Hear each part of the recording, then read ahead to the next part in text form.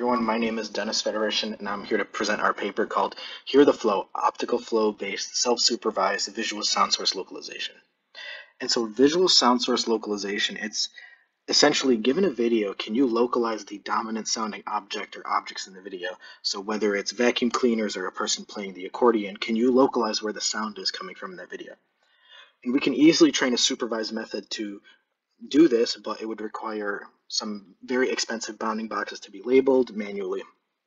And so the question is, can we do this in a self-supervised manner? And as we know, building strong self-supervised models is a challenging task.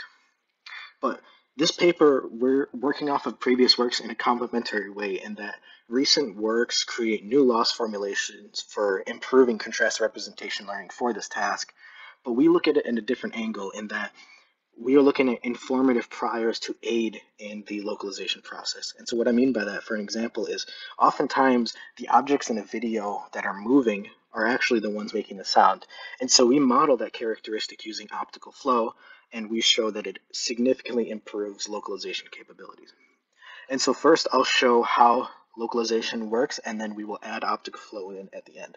So the way it works is given an image frame of a video with audio surrounding that frame, we extract features from both and we get the global audio features and we do a cosine similarity of the audio to every spatial location of the visual features.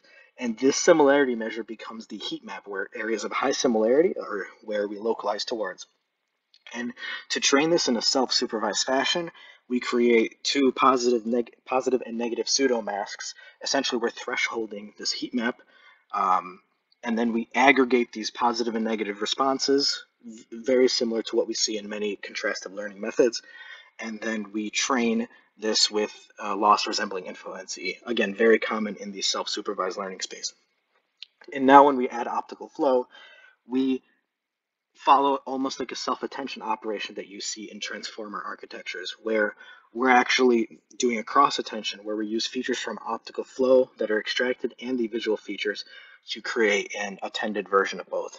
And so we create a cross attention matrix of flow and visual feature representations, and then we construct, construct the final cross attended optical flow feature or prior and then we add it back into the original visual features and construct an enhanced uh, similarity matrix or a localization map with these enhanced features that had optical flow attended in them.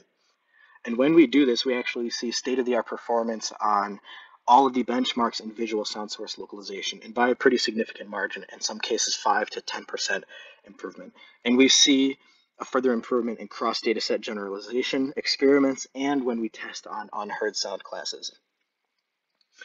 And when we actually look at example results, we see that with the addition of optical flow, we can see how the model is actually using them to localize better. So these are a few examples of, for example, a car moving or a person talking where they're exhibiting movement, and they're also the ones generating the sound, and the model can use these optical flow features to better attend and better localize to where it's coming from.